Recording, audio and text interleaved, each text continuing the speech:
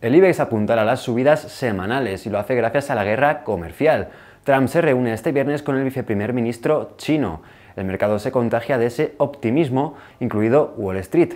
Sus futuros anticipan fuertes subidas gracias al citado y renovado optimismo comercial. Volviendo al selectivo español, Indra se dispara un 6% y extiende así sus subidas de este jueves, y todo tras adjudicarse nuevamente el recuento de votos del 10N. Pueden seguir informados en bolsamanía.com.